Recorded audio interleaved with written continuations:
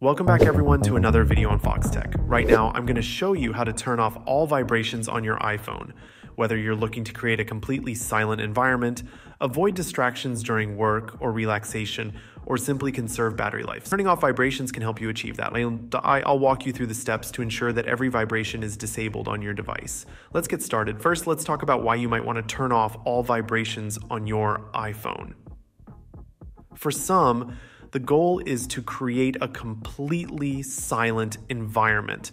No buzzing, no haptic feedback, just pure silence. This can be especially useful if you're in a situation where any sound or vibration could be disruptive, such as during a meeting, while meditating, or even when you're trying to sleep. Additionally, vibrations can sometimes be more distracting than helpful, particularly when you're trying to focus on work or unwind at the end of the day. And let's not forget, vibrations can also drain your battery, so turning them off can help you get a bit more life out of your device. So, how do you go about turning off all vibrations? It's a multi step process, but once you've gone through it, your iPhone will be completely vibration free. Start by opening the Settings app on your iPhone. Once you're in the Settings menu, scroll down until you see the option labeled Sounds and Haptics. And tap on it. This section allows you to customize how your iPhone interacts with you through sound and vibration.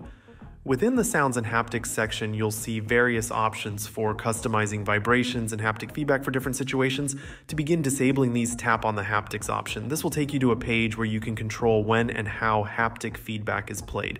If you want to turn off haptic feedback entirely, look for the option labeled Never Play and select it. This setting will disable all haptic responses on your iPhone, ensuring that you won't feel any vibrations no matter what you're doing on your device. However, if you prefer to have some haptics in specific modes, you have other options as well.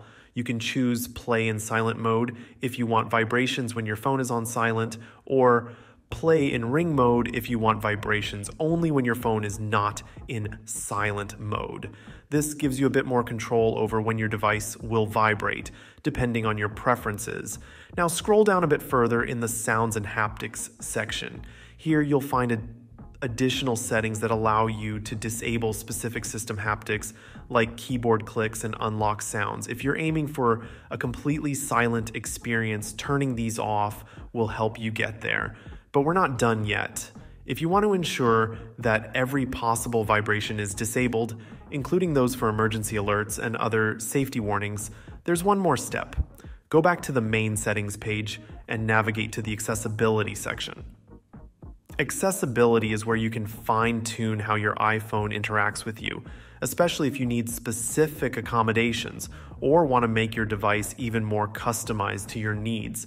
In the accessibility menu, tap on touch and scroll down until you find the vibration option. Toggle this switch off to ensure that no vibrations occur on your iPhone, even in situations where you might normally expect them, like emergency alerts.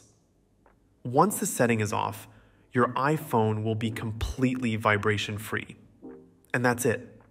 By following these steps, you can achieve a fully silent, vibration free experience on your iPhone, whether it's for peace and quiet, focus, or battery conservation. You now have complete control over how your iPhone behaves.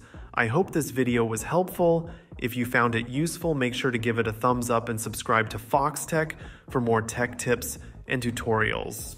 If you have any questions or need further clarification, feel free to leave a comment below. I'm always here to help. Thanks for watching and see you guys later.